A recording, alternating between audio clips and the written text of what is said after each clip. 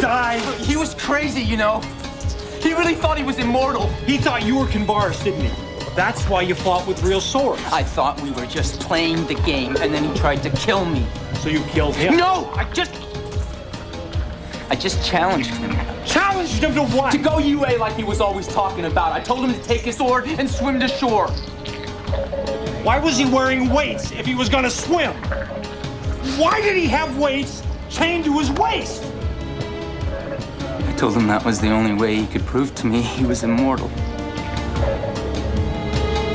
Why would you let him do that?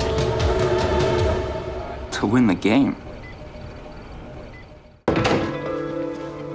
You went swimming with your grandmother the night she was killed. Never mentioned that. I don't want to talk about this. You were the last one to see her alive, Matt.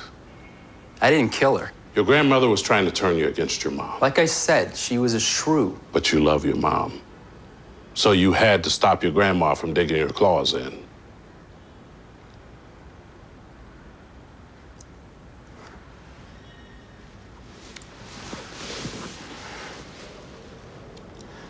That's not all she tried to do. Tell me, Matt.